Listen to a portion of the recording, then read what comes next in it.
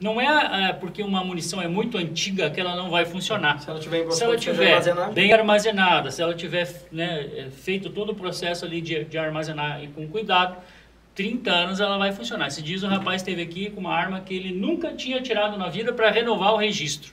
Ele falou assim: posso levar a minha munição para experimentar? Eu falei: se deve, porque daí você já gasta de uma vez e Sim. compra nova. E não teve problema nenhum, a munição dele funcionou perfeitamente.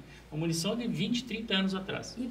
É, primeira observação aqui dita por ele, o cara que comprou a arma e nunca tirou. Ele acha que a arma é mágica, assim como no filme, que basta comprar, que na hora ele vai apontar, como John Wick, vai acertar tudo.